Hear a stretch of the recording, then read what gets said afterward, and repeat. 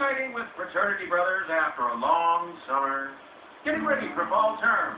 Autumn is a particularly beautiful season in space.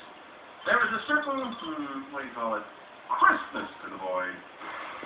Ah, can you smell it? I can smell something. oh man, I remember this one time when Charlie Stolpin put breakfast cereal in his sock and then went to the